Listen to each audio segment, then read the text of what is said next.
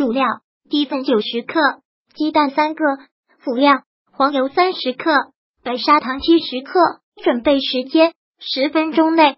制作时间：三十分钟到一小时。把放置室温的鸡蛋打入打蛋盆里，令黄油先加热至融化备用。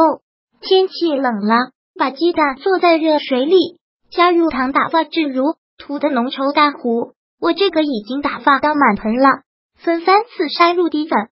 有些甜也是一次性加，但我喜欢分三次加，切拌均匀。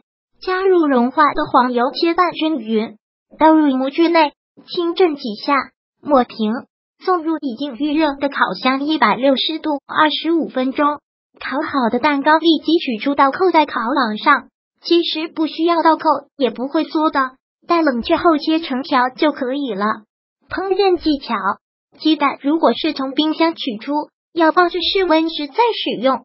如果喜欢本视频，请分享并订阅本频道，别忘了按赞哦。